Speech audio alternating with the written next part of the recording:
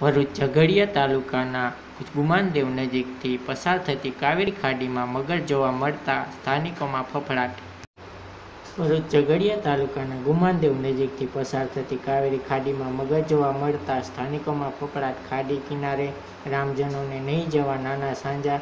ગ્રામ પંચાયતની અપીલ, સતત વરસાદને કારણે હાલ ખાડીમાં પાણીનો ભારે ઘસારો છે.